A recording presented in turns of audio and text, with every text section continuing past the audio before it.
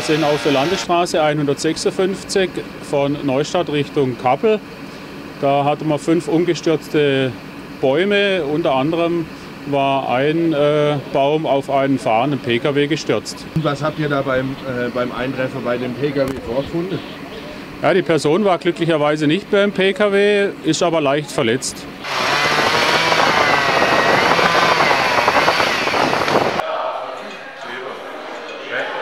Thank you.